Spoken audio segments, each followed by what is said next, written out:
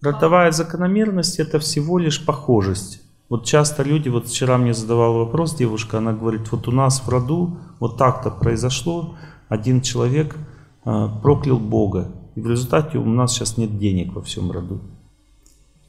Я объяснил, что э, его поступок не является причиной того, что нет денег, а его поступок ознаменовал плохой период жизни рода. Ну, то есть, другими словами, что это значит? Это значит, что в роду пошел плохой период. И начало плохого периода было вот в этом поступке.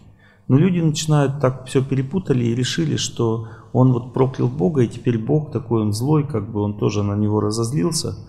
И как бы все, теперь не будет давать денег. Понимаете, во-первых, Бог как бы не принимает наши проклятия. Он понимает, что мы глупые, и он просто, ему смешно это все слушать. Понимаете? Может наказать, конечно, но будет наказывать его конкретно, а не целый род. Причем тут род? Род-то в чем виноват? Понимаете?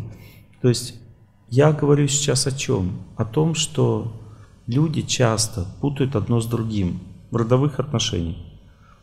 И этому помогают всякие как бы книжки по законе кармы. Понимаете, если ты пишешь книжку по закону кармы, ты должен этот закон изучить.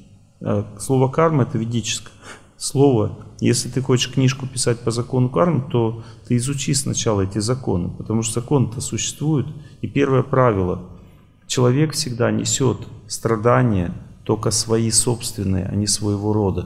Потому что в роду страдания просто похожи. Страдания матери похожи на страдания дочери, но дочь всегда несет только свою судьбу в себе, а не судьбу матери. Мать может помочь ей, это называется милость. Вот если она живет правильно, молится, она проявляет милость, и дочь через милость получит меньше страданий. Но если она, допустим, не может проявить милость, и с дочерью ведет себя как может, то дочь получает столько, сколько ей положено, а не больше. Больше расскажу. Бабушка развелась, родила девочку, девочка, говорит, умерла. Мать развелась, родила нет, девочку, тоже умерла. Как, как умерла? Вы же не умерла. Нет, умерла сама.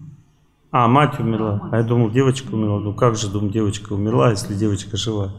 Я тоже ну, получилось. И родила девочку, и никогда об этом не задумывалась. Когда начали со стороны, обратила мое внимание Ой, какой хороший человек. Да. Добрый человек помог вам, а? Столько добрых людей на земле, а? Как это есть эти детские анекдоты, да, эти добренький дядя стал, как мальчик с бензином в бочку попал, стал задыхаться, высунул ночь, нос добренький дядя спичку поднес. Вот.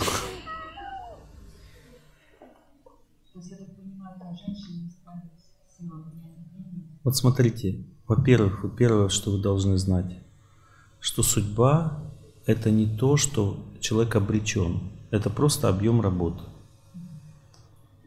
И вот, допустим, объем работы в вашей семье выражается вот так. Теперь вы, допустим, начинаете молиться, и все, в молитве побеждаете просто судьбу эту и все. А вот этот человек, который вам что-то сказал, это злой гений, потому что он вас настроил на разрушение. Я вас настраиваю на жизнь сейчас. И ваша жизнь, несомненно, продлится. В вашей жизни через полтора года будет неблагоприятный период, который будет он, а, как бы выражаться в том, что у вас будет сильно страдать мозговое кровообращение. Если сейчас, до этого периода, вы начнете учиться неподвижно стоять или делать статические упражнения, начнете бегать, а также ну, проводить время с водой, то даже без нашего лечения вам будет очень хорошо. Но если у вас начнутся такие вещи, что вы будете чувствовать, что сильное головокружение, какие-то приступы начинаются, есть такое у вас? Да. Тогда вы можете обратиться в наш центр, я вам поставлю в ушки всего несколько семян. Вот. Если даже у вас день, нет денег, вы подойдите после лекции, я вам просто так назначу сейчас. Но это не самый лучший вариант, лучше наблюдать за человеком. Но даже если это сделаю, то все равно это будет достаточно, чтобы вы никогда не ушли из жизни, пока вы это носите.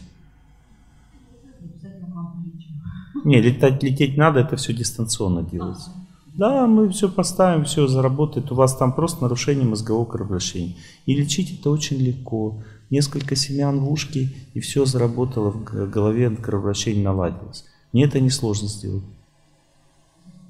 А вы сами просто бегаете, и как бы, и ваши, ну так я понимаю, родственницы все уходили из жизни именно из-за того, что происходит там инсульты, там вот такие вот вещи, что-то с головой.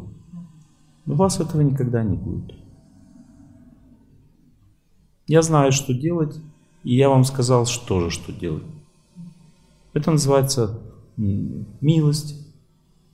Вы начали работать над собой, начали молиться, Бог всегда вам поможет в этом случае. И вы разорвете этот порочный круг.